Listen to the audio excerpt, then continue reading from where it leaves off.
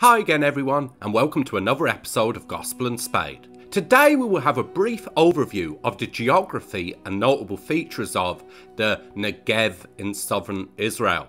The Hebrew word Negev occurs over a hundred times in the Old Testament and is most often translated simply as south in the King James Bible.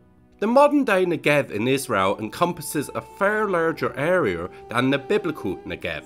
The modern Negev stretches all the way to the eastern Gulf of the Red Sea, known as the Gulf of Aqaba, and to the northern Sinai Peninsula. This large desert region was the location of both the wilderness of Zin and Paran in the Old Testament. The biblical Negev, which was situated to the south of the hill country of Judah, was, by comparison, far smaller than the modern day Negev. From north to south, the region was only 20 miles in depth at its maximum, and stretched from the Rift Valley in the east to close to the Mediterranean Sea in the west.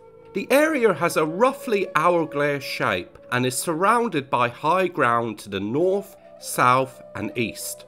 The relatively poor soil and small amount of annual rainfall, which is only about 8 to 12 inches a year, makes the area generally a poor region for crop growth, though this makes it far more suitable for the keeping of large flocks of sheep and goats.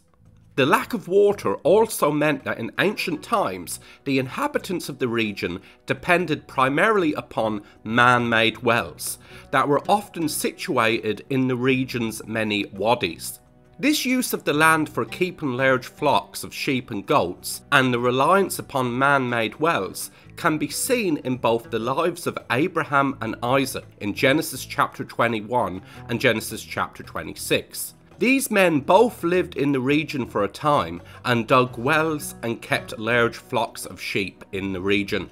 The two main settlements in the region in biblical times were Arad, which was situated in the east of the Negev, and Beersheba, which was located at its western end. Both cities also acted as defensive fortresses to protect the lands of Judah from invasions from the south.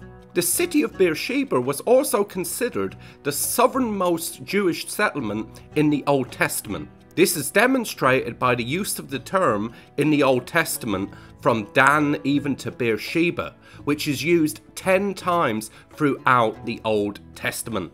Thank you for watching. If you enjoyed this video, please don't forget to leave a like, comment and subscribe for more new videos every Friday.